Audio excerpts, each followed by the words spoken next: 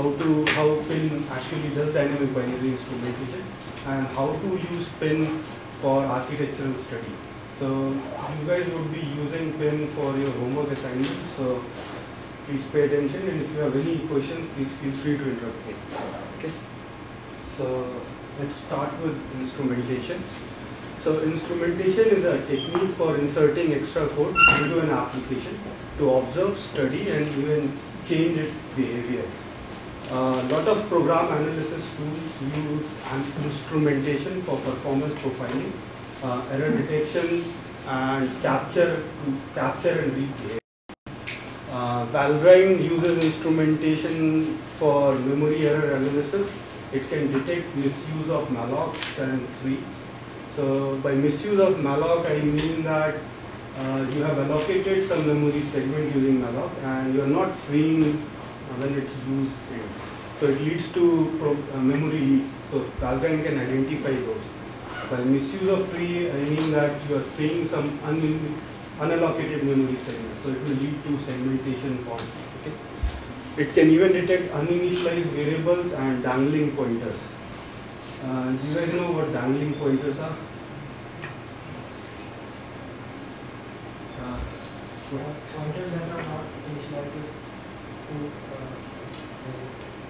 Dangling pointers uh, actually point to a memory region which has not been allocated by the application. So dereferencing them may lead to segmentation faults. Uh, Intel's inspector is also it also uses instrumentation for thread error analysis. It can detect data races in your multi-threaded application and even deadlocks in multi-threaded application. Intel's VTune amplifier also uses instrumentation for performance analysis. It can locate hotspots in your application and it can even do uh, lock wait analysis. So it can give you the lock contention time. Uh, we would be ma mainly using instrumentation for architectural study. Uh, we would be doing processor, branch predictor and cache simulations using instrumentation tools. And you will be using instrumentation to collect instruction traces and these instruction traces would then be fed to some other trace-based simulator, detailed simulator. Okay, so Intel software development emulator uh, also uses instrumentation to emulate new x86 instructions. Suppose that you want to implement some new x86 instruction and study what benefit you would get because of it. Uh, so what you do is that you uh, you register with software development emulator a function which implements the functional behavior of the application. And when software development emulator encounters this new instruction, instead of trying to execute it natively, it will actually call the function that you have registered to uh, emulate its behavior. Okay. So now moving on to instrumentation approaches. So when we are doing instrumentation, the two main questions that arise are where do we want to insert code and what code do we want to insert. So these two questions are mostly related to the problem that you are trying to solve. So if you are doing cache simulation, then on execution of each load store instruction, you would want to look up a cache model that you have developed. So we are so in cache simulation, so we are inserting code at execution of a load store instruction and the code that we are inserting is to look up a cache model. Okay. Similarly, in a branch predictor performance study, we would want to insert code just before the execution of a branch instruction and it would look up the branch predictor that we have prepared and tell us whether there's a branch miss or a hit. Okay. So the next question that arises is how do we actually go about inserting this code? Uh, there are various approaches to it. Um, we can directly modify the application source code and we could directly write code, add code in it. Okay. Uh, this is called source code instrumentation. It's not, I mean, you must have used it for measuring some time taken by a particular chunk of application. You add code before that chunk to measure the starting time and then at the end of it to measure the end time to get the time that is consumed in that particular chunk. It is not widely used Okay, it has, suffers some major drawbacks. You because you are doing source code instrumentation, you should have the source code with you. Uh, just uh, modifying, just instrumenting the source code of the application is not sufficient. You would even want to modify the source code of the third-party libraries that is using. Uh, so why can anybody why would we want to? Modify the third-party libraries that the application is using. Uh, think about cache simulation. So you are trying to add insert code just before it each load store instruction to look up the cache model.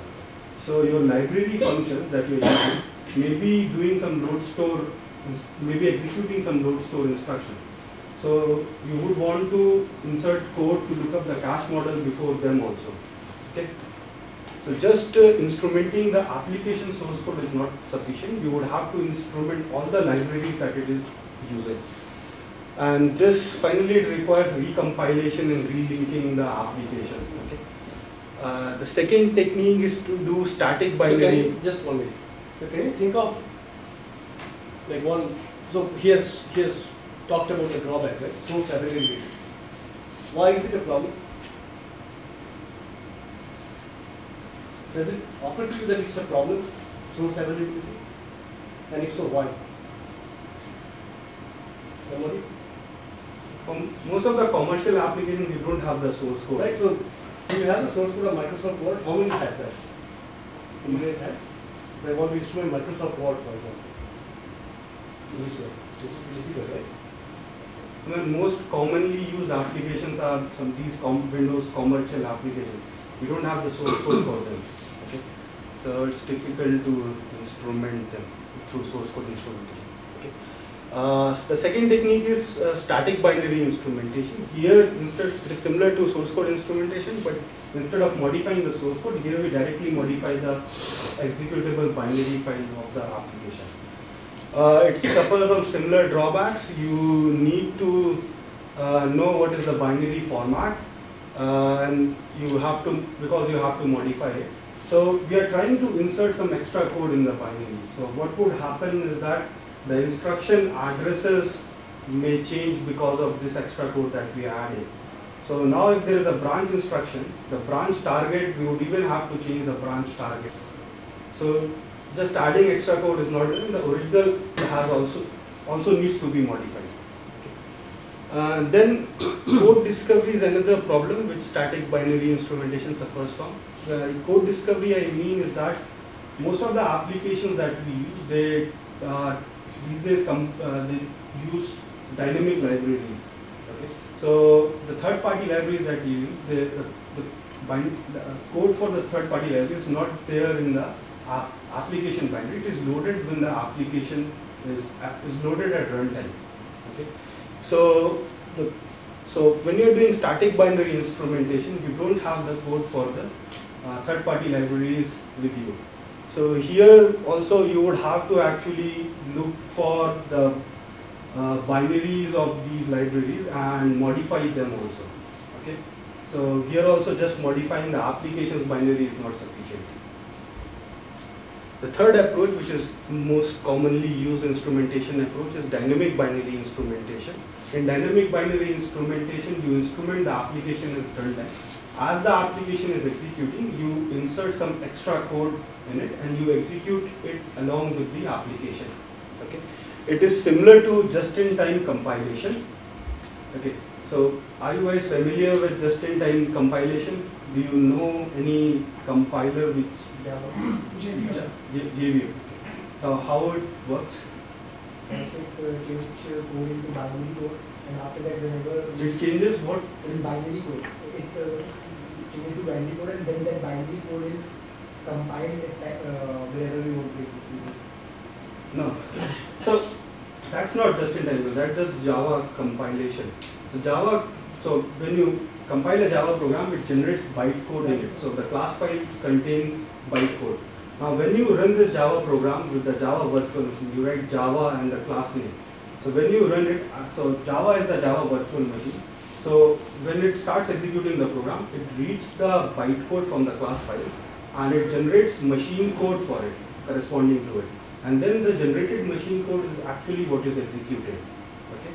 So it keeps on reading machine uh, byte code and generates machine code and then executes it. So this process keeps, keeps on going on until the application ends.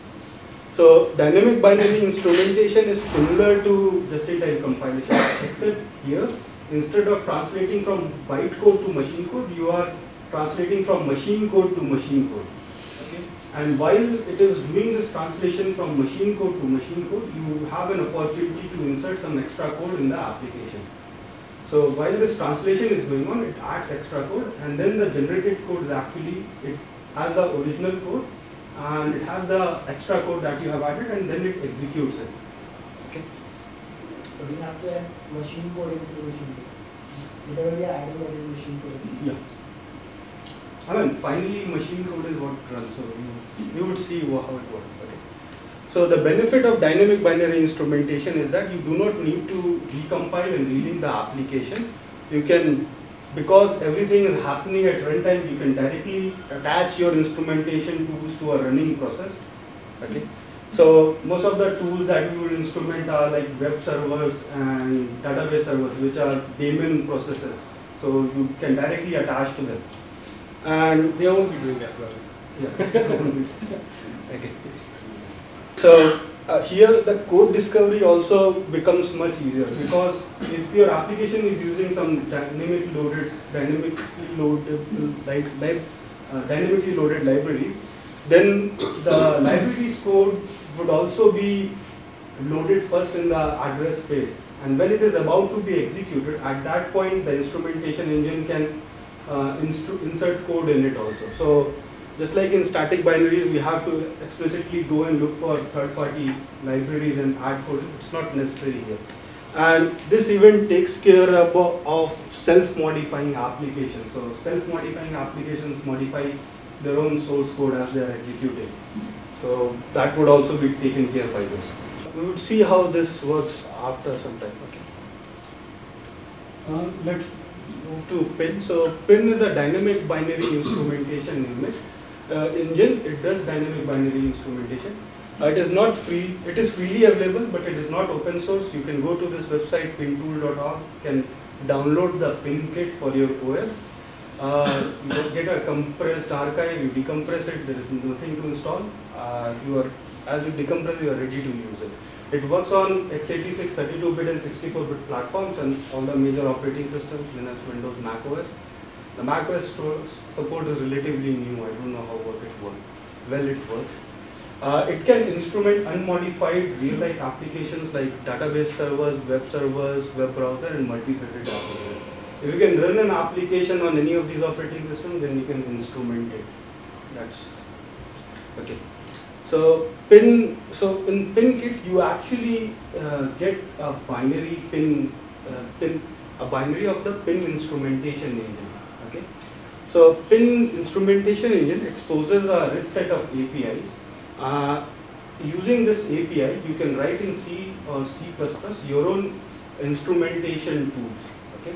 And these instrumentation tools are called pin tools. Okay, there are a lot of sampled pin tools provided in with the pin kit. Uh, this is the path name of the. This is the directory in which the sample pin tools are. You should go and look them up.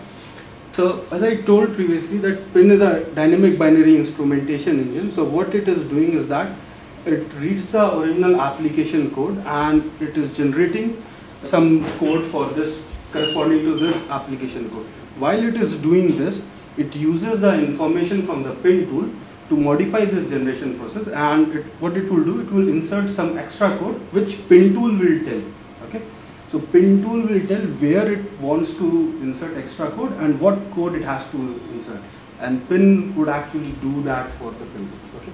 So pin uses pin tools to instrument applications at runtime during the dynamic binary compilation.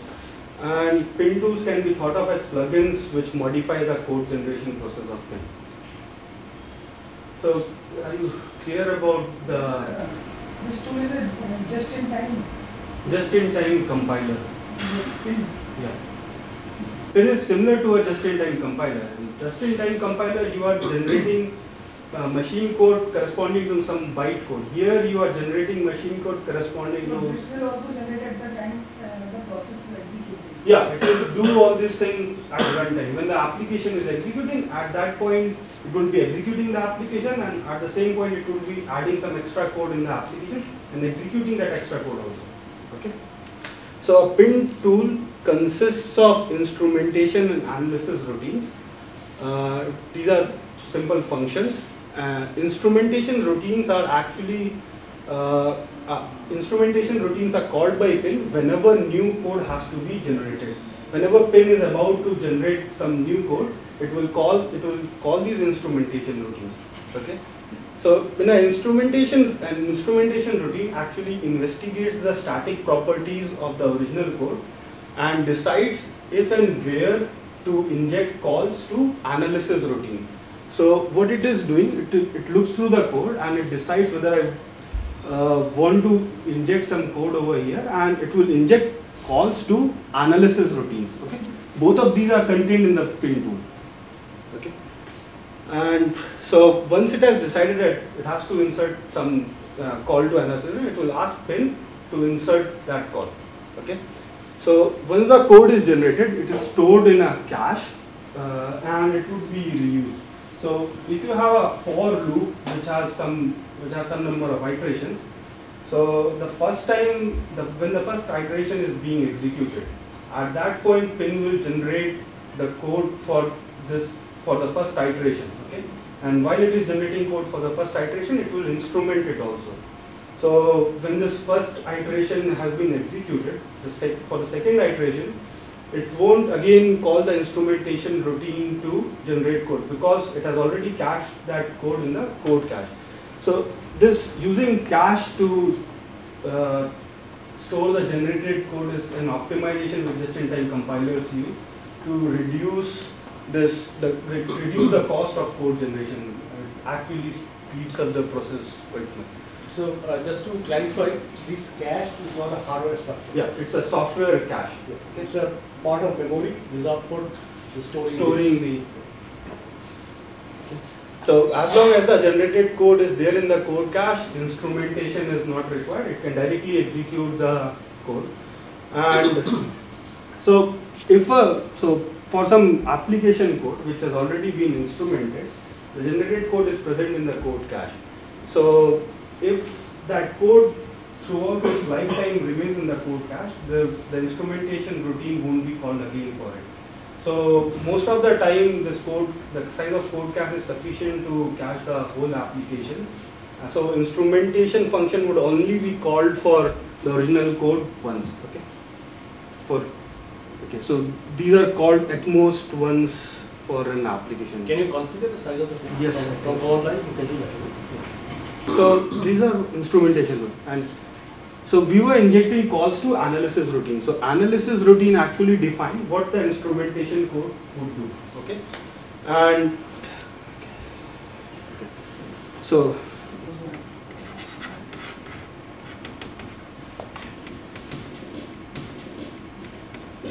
so this is the original application code for this the generated because we are translating from machine code to machine code the generated code would also be almost similar to it so instruction would remain same the register allocation might differ but I'm using the same thing and we have inserted a call to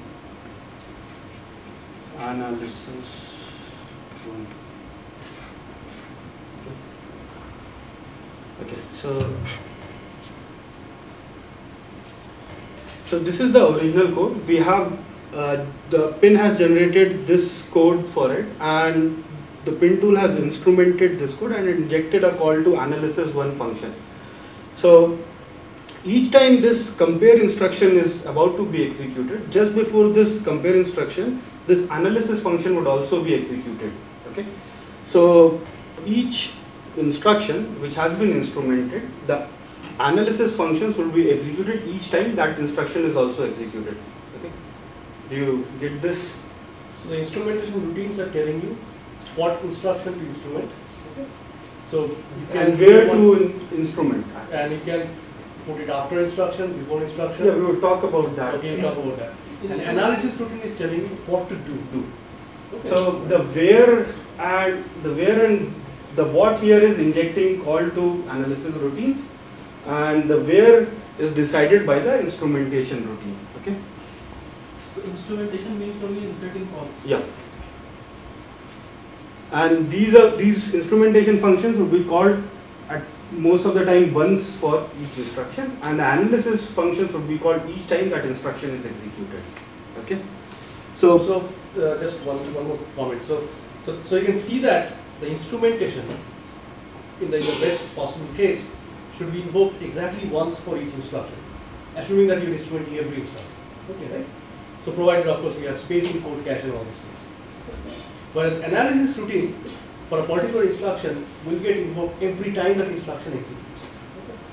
because the code has been uh, so generated code contains a call to this analysis routine so each time it traverses this code path this analysis function would be called so analysis routine would be called each time it traverses this code so so so a pin tool consists of instrumentation analysis routine but uh, so pin tool also registers which instrumentation routine pin has to call so it registers a callback to the instrumentation routine which pin should use. And pin tool, so just like it was uh, registering callbacks to in instrumentation routine, pin tool can also register callback for notification events. Uh, callbacks to routines for notification events. These notification events can be thread start, thread end, fork of a child process, forking a child process, or these can be the application end or image loading and unloading. Here, image refers to a library which has been uh, binary file which is being loaded, loaded. Okay, so whenever a binary file for a dynamic library is loaded, uh, we can call a function. We can register a call to a function.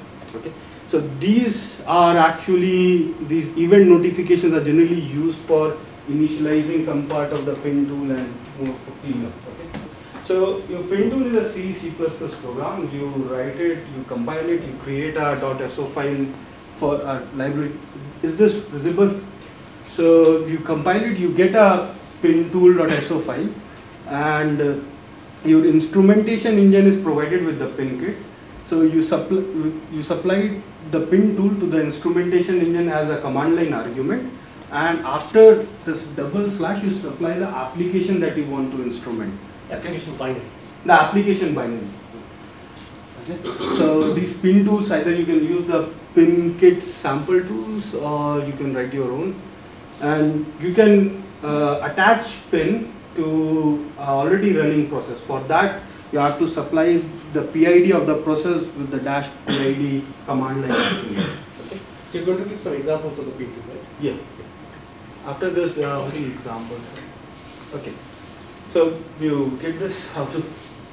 So let's look at a. We were we will try to write a pin tool which actually counts the number of instructions that have been executed. Okay. So the code, the assembly code here is actually the applications code, and what we want to do is that we want to insert uh, these counter plus plus. Uh, we want to increment the counter when insert code to increment this counter just before each instruction. So whenever uh, this instruction is about to be executed, just before it, the counter would be incremented. Okay. So in this way, we can maintain the number of instructions that are executed. So just one question. So in that example, then, in most cases we try to inline the analysis function, right? Yeah. Okay.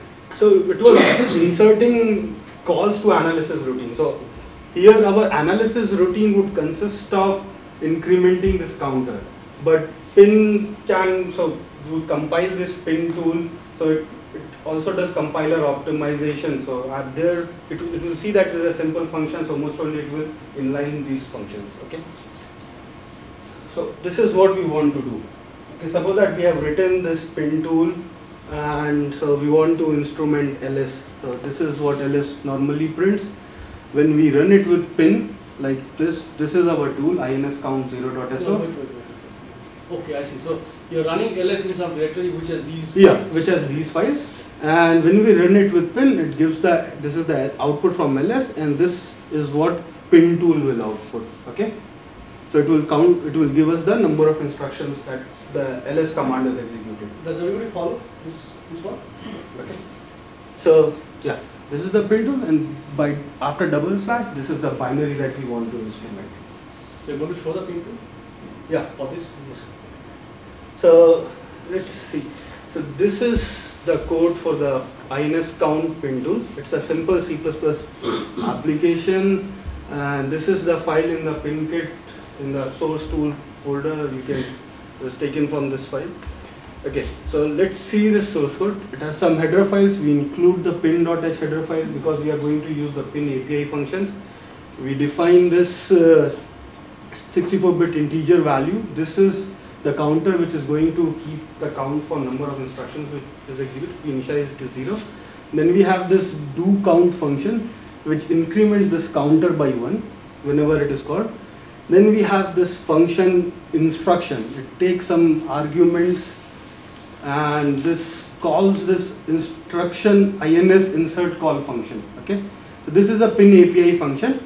Uh, we will talk about these input arguments, but let's see the third argument. The third argument is a pointer to the, this do count function. Okay, so the third argument is a pointer to the do count function. Okay, now the, the other function is the fini function. We will talk about what are the input arguments are, and it just prints on the standard uh, stderr the i count value. Okay in the main function, so this is your pin tool code. In the main function, we have four uh, pin API calls. The first one is pin init. Uh, then is ins add instrument function. This takes a pointer to the instruction function. So this instruction function is defined over here. Okay. And then there is pin add fini function. This takes a pointer to the fini function which is defined in the pin tool. So we are using function pointers quite a lot. Okay, and then there is pin start program. Okay, now so pin init actually takes the command line argument. You can pass some command line arguments also to the pin tool. So here we are passing the arguments to the pin to initialize the command line arguments and runtime system. But uh, can you override the pin init function? Uh, no, you You cannot, right? You have to always, so your pin tool will all, this would be the first function that your pin tool will execute. This has to be always present. So it's internal, cannot expose. You cannot modify. You can't modify any of these functions. Yeah, yeah, right. Okay. Yes. Now I'm saying you cannot, here at least you can pass a function pointer there, you don't have any freedom at all. Yeah. So, uh, yes.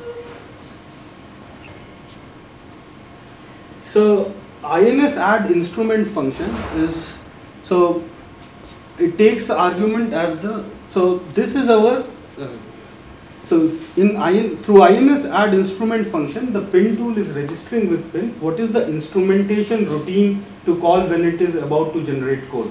Okay. So this says that whenever pin is about to generate code for an instruction, it should first, before generating the code, it should call the instruction function. Okay. So this is the instruction function is the instrumentation routine. It would be called each time pin is about to generate code. Okay. So let's see what we are doing in the instrumentation function.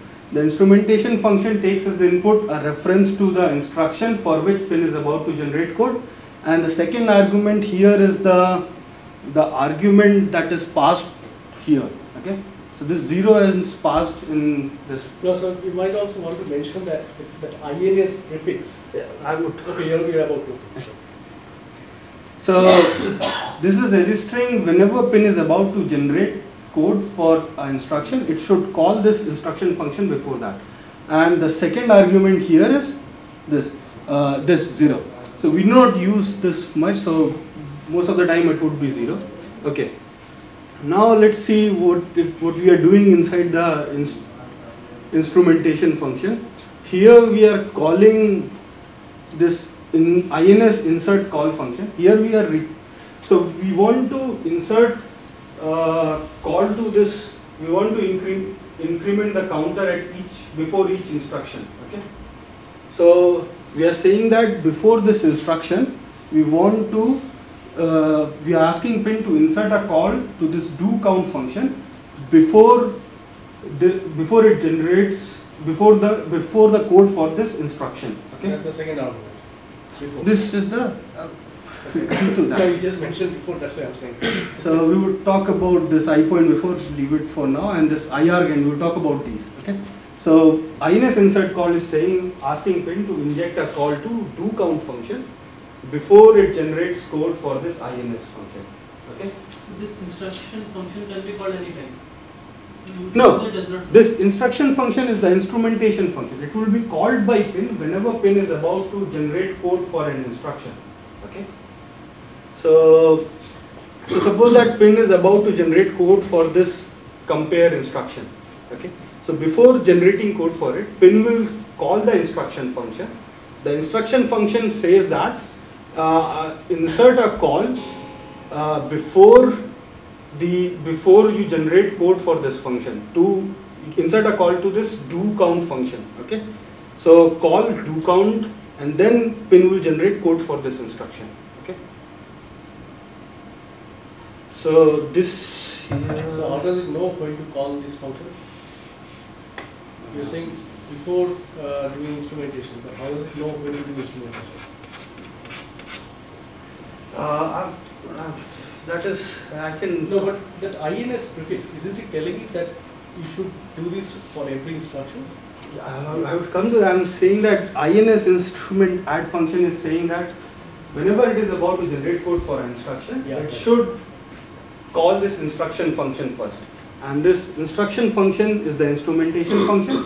It is asking pin to insert a call, inject a call to do count function just before it, it generates code for this this particular instruction. Okay?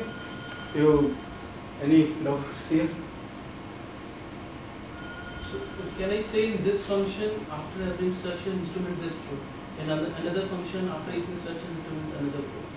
Is Uh, yeah, I did not get you.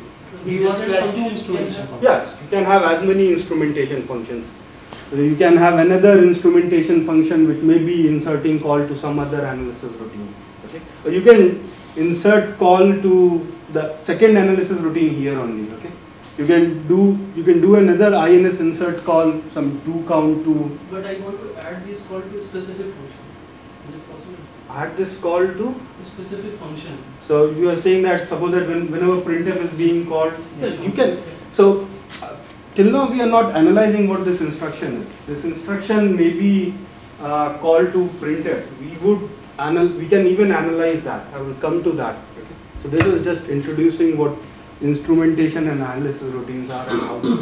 Do you understand this? So the, uh, just one comment here is that, uh, well, you will mention that also, please. The purpose of Fini is to. Yeah, I will come into Okay, that. come, come. So the do count is the analysis routine. Okay.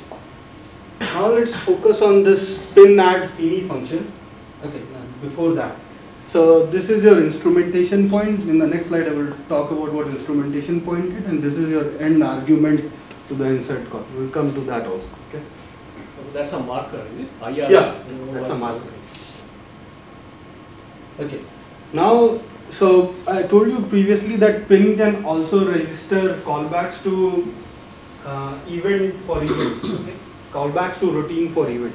So pin at Fini is registering a callback for Fini function whenever the application is about to exist. So it registers a callback for application and event. Whenever the application is about to exit, it will call this Fini function. Okay. So that's what we want to do. Whenever the application is about to exit, we would print the number of instructions that have executed. Okay. So this function just prints count and the instructions that have executed. Is it abnormal exit? Exit minus one? Yeah, at that point also this would be gone. Yeah, so you can use this function for any other purpose, whatever you want to do at, at termination essentially. So in this case, we are just taking a count. Yeah, It would be here we were counting number of instructions, so we just print the count. I mean, you may have allocated some uh, Exactly. memory for your print tool you may free it at application end. Okay, so these event functions are generally for uh, uh, initializing and cleanup at the end. So here I could use C out also, or is there a problem? Yeah, yeah, you can use C out also. C out also. I have not included. Okay, so talk about And the last call essentially uh, gets to Yeah, start up, no, right? I forgot that. Okay, so when this function, so here we were initializing the runtime system. Here we just registered with pin to call this instruction function when it is about to do instrumentation. And in, in this pin add fini function, we, we were registering a call to the fini function when it is about to end. And pin, so till this point the application has not started, neither has the instrumentation. And when we do pin start program, so this function never returns actually. Okay, so this return zero is just for compilers. It's a- long job? Yeah. So this return is just to make the compiler happy. This never returns. So that one is a long job Yeah. Okay. And it basically when this function executes, it starts the application and starts the instrumentation process. Okay. So these two functions would always be there in your pin tool, and you would add instrumentation routines and notification routines. Okay.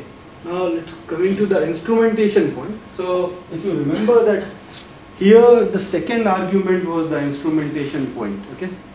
So this insert call was taking the instruction reference as one of the first input, then an instrumentation point, and the third argument was the analysis routine.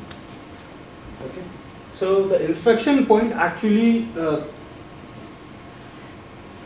uh, it refers to a position relative to the instruction.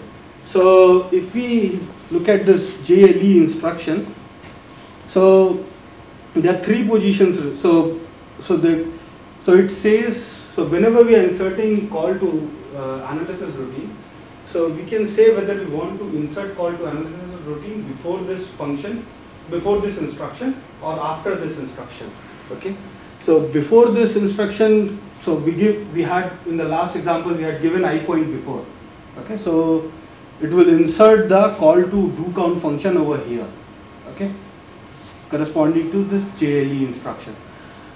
The after it there are two positions because this is a branch instruction. The fall through edge, the fall through edge follows is the next instruction in the source, and the target uh, is this edge is called the uh, taken edge. Okay, so for the fall through edge we could use i point after, and for the taken edge we can use i point taken branch. Okay, so if here we would have given i point after, then what would have happened is that if you can go to this, okay. If we have given i point after, then this counter plus plus would have come here. Okay, it would have been inserted here. So this is clear to everybody. So this this is a problem only with branches. Does everybody see that? Okay, you yeah, yeah. after a branch, there could be two possibilities, depending on which way the branch goes. Okay, so accordingly. So we have to both of these may not be even defined for some instructions. So if this is a unconditional jump, okay, so there is no fall through edge after it. Okay, so because it will always jump, so I point fall through edge, I point after is not valid if this is a conditional branch, unconditional branch. Only uh, the taken edge is valid, or So- or if this is not a compare, if it is not a branch instruction, like this is a compare instruction, there is no uh, taken edge here. Okay, there is only fall through edge here. So these two may not be defined for each instruction, but I point before is always defined for an instruction. So Most of the in the previous example, yes, instead of I point before, I specify I point after. yeah, Will so, that so may it will compile correctly, right? yeah, it will compile correctly, But so it will not be able to count the taken branches. yeah. Right? Yeah. that would so you would have to actually somehow modify your instrumentation code. So now what if I specify both? yes, you would have to specify code to So in that case, will there be a double counting for a non-branch instruction? No, right? Uh, no, because the other part does not exist. So You understand what servers say? Suppose that in this example here uh, we do not want to insert call before the instruction, we want to insert it after the instruction. So if we give only i point after, okay, so what may happen is that for conditional branches, I mean, this counter plus plus won't, would never be executed. If the branch is taken. For conditional branches, uh, yeah, Yeah. For, for conditional branches, if the branch is taken, then the counter plus plus which is just after it won't be executed. So we would insert the counter plus plus on both these parts, i point after and the taken branch. So maybe I should clarify one thing. We talked about this branch delay slot last time.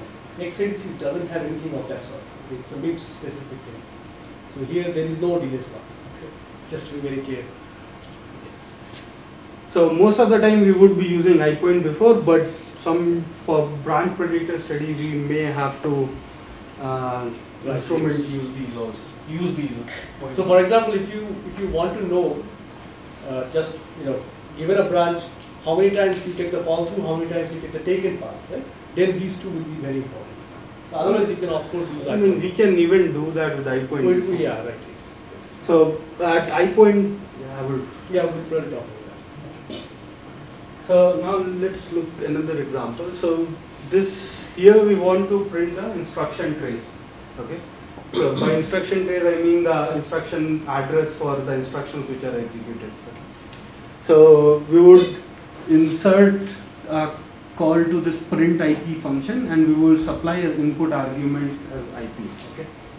So here we need to pass an input argument to the analysis routine. In the previous case we were not passing any input argument. So in the, uh, just one clarification, uh, just about acronyms. In the Intel world, IP refers to instruction. Instruction pointer, pointer. Same as program counter. Right. So it is just printing the instruction pointer of every instruction, this particular. Okay, so this tool also works in a similar fashion. This is how we will use it, itrace.so. Okay, we will write a program itrace.cpp for it.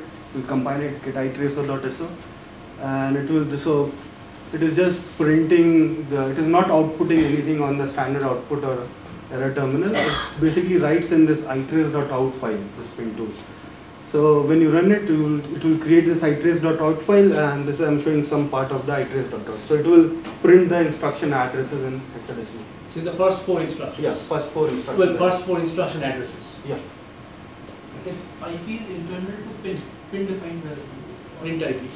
Print IP is the instruction pointer which pin will provide. It will manage, it will compute IP, it will keep instruction pointer somehow. And print IP is the function we would, analysis function that we will supply. So here, just one minute, go back to the trace. Uh, so the first instruction is one byte, is it? 90 to Uh, 91. Yeah, first instruction is one byte. Second one is pretty large. Three, three byte. Second one is pretty large actually, right? 91P4. Uh, yeah, this may be a jump. This could be a jump. Yeah, that's right. Okay. So x86 instructions are not of the same size. Yeah. They are variable size instructions. Okay. Yeah, it's hard to say whether it's a jump or yeah. Okay, so this is the code for iTrace. This is also taken from the sample. Okay, so here the analysis routine is print IP. So it is taking an input argument IP, okay, and it is just printing the uh, this as IP. Okay, the the here this code is almost same except that we are creating a file itrace.i when the program starts and in the Fini we are just closing this file. Okay. Uh, okay. And the instrumentation registration is almost same. The Fini is almost same. So no, look at the instrumentation function. This has changed. So here we have some more arguments. We are passing some other arguments to the this ins insert call function. We are passing IR instruction pointer. Okay. So this is the these are so what would happen what i here we are saying that so we are asking pin to insert a inject a call to print IP function and we are asking it to pass IR instruction pointer as a input to the print IP function. Okay. So it will.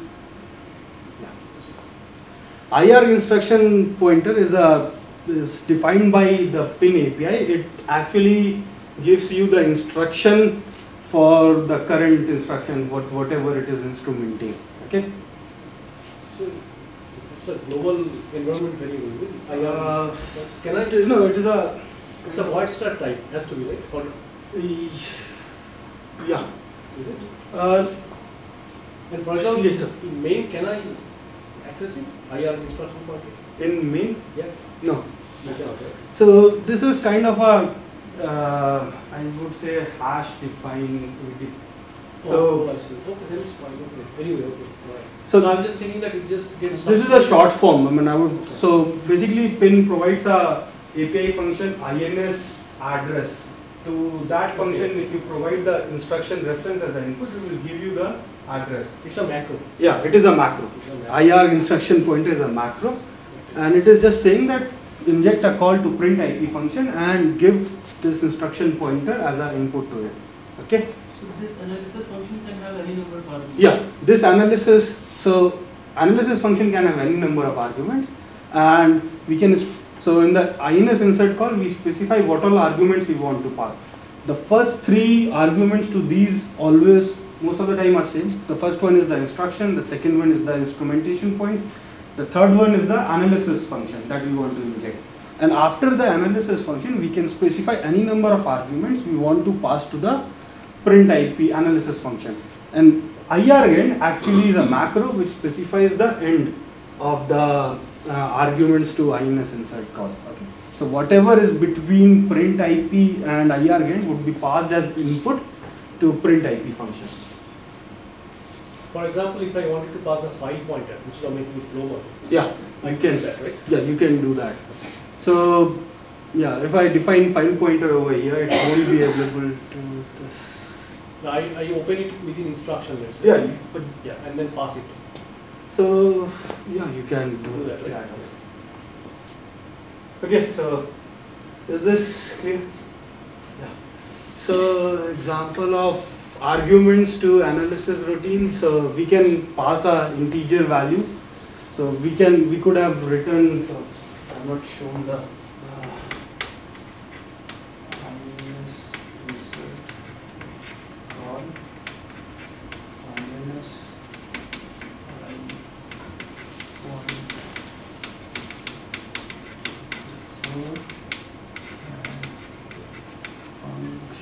comma okay so this is what uh, INS instrumentation this is the INS instrument. So these three arguments are still almost the same. Uh, if we want to pass a 32 bit uh, integer value to this function as an input we could say uh, IARG UN32 and then we could uh, say some uh, 6 okay? Okay. So what this is saying is that it is used like this. So these macros uh, some of these so this IN32 macro is not supplied alone just like IR it is supplied with a value okay? So you have to give the value also with it. So you give UN32 and then the value after a comma the value. So it will pass the value 6 as a 32 bit integer value to the uh, analysis function So it can be a variable also, right? Yeah. Need not be a constant. yeah it can be a variable also So In- typecasting? That's the Yeah. point. so it is type 1 so so this is just the type of okay and IR instruction point is a macro it is actually so transformed into IR UN32 comma INS address instruction okay and there are others so we can also pass register values to functions. I have not shown examples for these but IR register value and then the register name. So pin would pass the value of that register. Okay and we can pass the branch target address. So this is also a macro. It will get the branch instruction from the instruction uh, the branch target address from the instruction and it will pass it as a 32 bit uh, it will pass it as an instruction value to the function. Okay, and we can even pass memory addresses. We would see exam how to use them further, and there are many more. You can pass any number of arguments. Okay. So you want to stop now? There is one more example that I okay. Okay, so till now we have been instrumenting, uh, we have been inserting code at just at each instruction. Okay, so if you want to do a uh, cache simulation, okay, or we want to print the memory trace, so we want to insert code uh, to print. So suppose that we are doing memory printing a memory trace. Okay, so we want to insert just before each load store instruction, not before a ALU instruction. Okay, we want to insert code specific to some instruction. So instrument. probably uh, tell them what a memory trace is first. They will not know. Just a sequence of. Yeah. So this is the memory trace. So this is the instruction address. So this instruction PC value and the memory trace is saying that this instruction did a read from this memory address. Okay. So similarly, this instruction did a write on this memory address. So this is the memory trace. So we want to collect this memory trace. Okay. And so till now we were instrumenting at each instruction, but if we can collect memory trace through that mechanism also, but that would be inefficient. There are a lot of, almost one, two thirds of the instructions are non-memory instructions. We do not want to instrument those, okay? We want to instrument only the instructions which are, uh, which are load store instructions, okay? So this tool pinatrace does that, prints the memory trace. It is also there in the pin kit. And this is the code for it. So it is kind of it. Do you want to take it up next time? So I have put a link to Paint2 on the course website. You can download and start playing with it if you want. There are many. This is the website for Paint. Yeah, it's, it's linked up with the course website also. Uh, there is a manual there on the website. Uh, all these examples have been taken from that manual. Kind of a tutorial. Okay? You should go through that tutorial. So we'll finish this up next time. So this is a concise tutorial for you. So once we are done, we'll post the first homework.